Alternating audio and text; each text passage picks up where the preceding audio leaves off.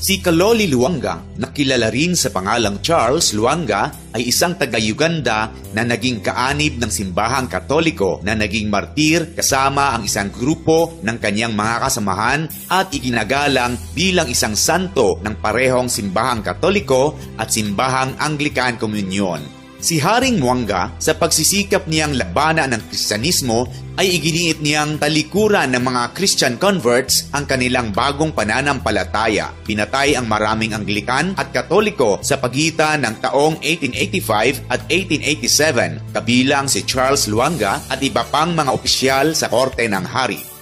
Para akong binubuhusan ng tubig, mangyaring magsisi ka at maging isang Kristiyanong katulad ko.